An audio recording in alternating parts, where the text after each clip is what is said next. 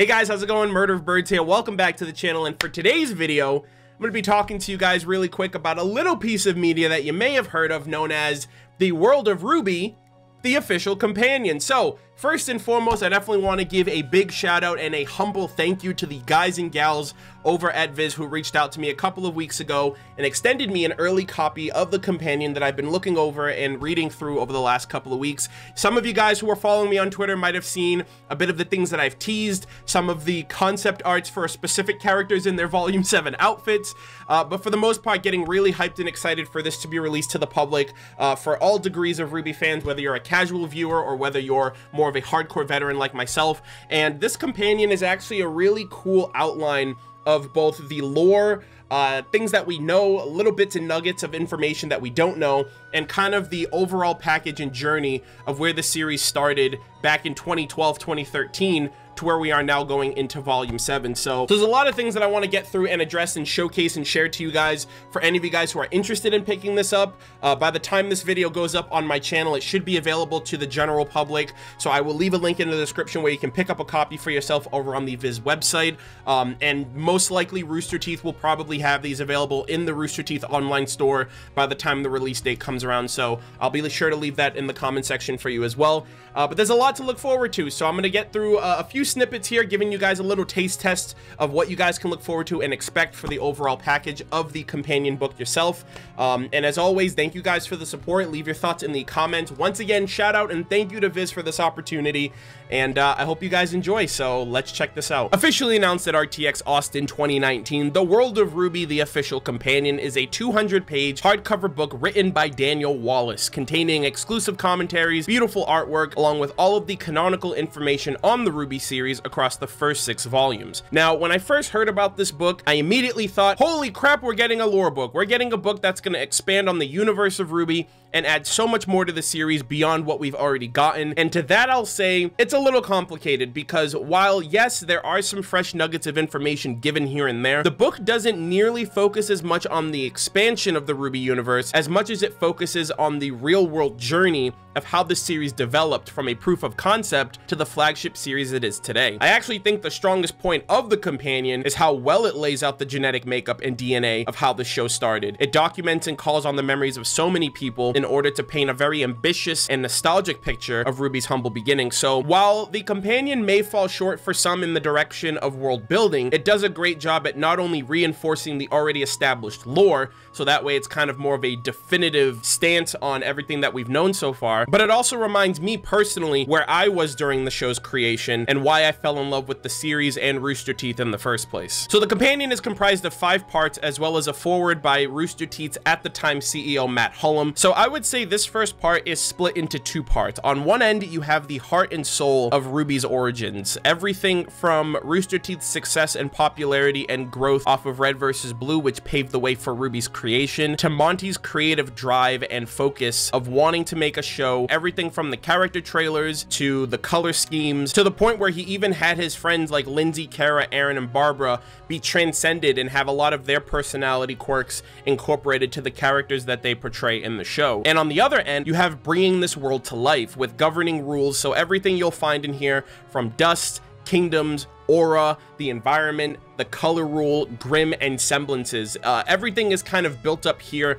to give you an understanding of a world that is slowly being able to come to life with all of the governing bodies that make it feel like a realistic setting. Part 2 is dedicated to characters, and this is probably the most satisfying part of the companion for most, considering it takes up a vast majority of the book, and with 70 plus characters, you can only imagine that there will in fact be varying degrees of information you'll get from a main character like Yang to more side characters who haven't had much of the limelight like Sage or Scarlet. Actually, you know what? Never mind. They gave Zwei his own section of this book. All is forgiven. But in all seriousness, uh, this part is mainly focused on giving key analysis to most of the main cast while giving us nuggets and snippets and things here and there about characters who we may have seen but we'll probably see more of as the show progresses. One thing that I'm really happy that they brought back that they really used to do a lot in the earlier volumes was give a name to damn near every weapon in the show. Some of my favorites being Ironwood's pistol is called Due Process, which is really clever, while Neptune's weapon is called Tri-Hard, which is really funny because he tries so hard to be cool all the time. Unfortunately, one thing about the character section is that it's a painful reminder that most of the side characters in this show are unflushed. And one thing that I really wish that they had done was if there are characters who are meant to only ever be side characters, I would have really liked if they gave us a little bit more information as to why those characters became huntresses or huntsmen or, you know, just little bits of nuggets of information instead of simply this is what the character's description is, this is what they look like, this is what they're based off of, and this is what their weapon looks like. Obviously, the main cast got most of the acknowledgement, while a lot of the side characters who are fan favorites were left hung to dry until they make more of an appearance in the show. Another cool thing that you can look forward to in the book is that every character also has a, a definitive aspect of what their semblance is. For example, Ruby's semblance is speed, but it's called petal burst, which is basically a speed semblance with the aesthetic of rose petals. And quick little side note here, I love the fact that Ren's semblance is called tranquility because it makes it all the more satisfying to know that I uploaded a video a couple years ago when his semblance was first revealed, and I was kind of on the money with that. Play of the game.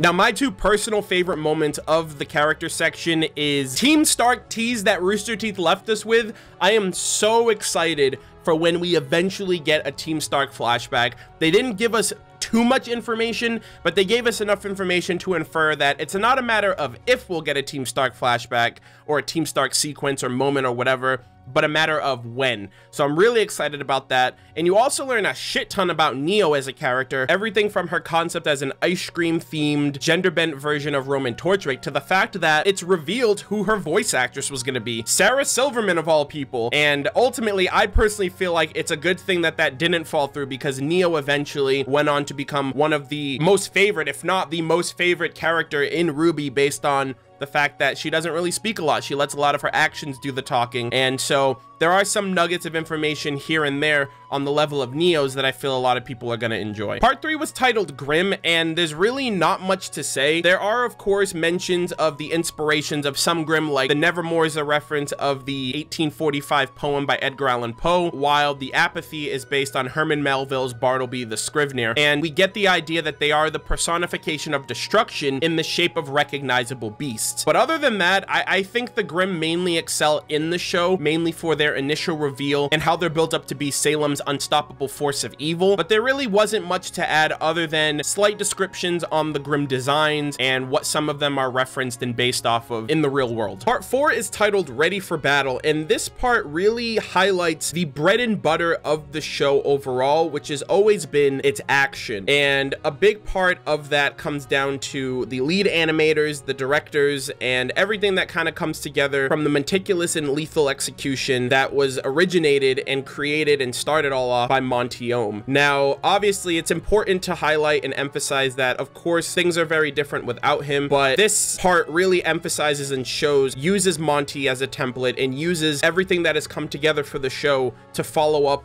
on when action scenes are big and bombastic and exciting. And they actually highlight quite a few iconic battles from the show, everything from Volume 1, Chapter 8, which I would say was the first real proving point of the potential that RWBY could go on, you know, the fight between the Deathstalker and the Nevermore. Another great fight that they showcased that's one of my all-time favorites, especially during the early days of RWBY, was the fight between Team RWBY and the mech with Torchwick during Volume 2. I think that fight has a lot of levels and layers of teamwork and the potential that Rooster Rooster Teeth is speaking of when they're talking about iconic fights and team-oriented fighting. They also showcase some moments here and there between one-on-one -on -one matches such as Tyrian versus Qrow, as well as Cinder versus Raven from Volume 5. And I would say that this part of the companion definitely showcases a lot of what goes into creating an intense fight sequence from the lead animator's perspective to what's addressed and put onto the screen in terms of like early concept of a fight, which they have screenshots for those, which is really cool. And so I, I really like how they give a, a big point in showing showing off the bread and butter of the show in this sequence. And then wrapping up overall, uh, the final part is essentially uh, expanding horizons, which is really telling of everything that RWBY has done for Rooster Teeth as a company and the overall support of the fans. It does a lot in showcasing and kind of advertising almost all of the other subsets of RWBY genres in terms of merchandise, such as RWBY Chibi, some of the video game spin-offs that they've created, the manga, volume 7 of course, and the fact that one of Rooster Teeth's first properties has a conclusive definitive ending in that while we're on this journey and while we're all getting really hyped and excited and creating memories and having moments to share with everybody else online, the inevitable day will arrive where the series does have a final conclusion. So until that time comes, obviously all of us can look forward to, you know, everything else that's going to be built up and provided for years to come until that day. And at the very end, they gave a very nice thank you to the fan and a, a sneak peek of the full concept of Team RWBY in their Volume 7 outfits, which like I said, I posted on Twitter a little too soon just because I was hyped and excited. And I gave a little shout out to cosplayers and fan artists who wanted to check that out before the book release. But I would highly encourage anyone who's a RWBY fan,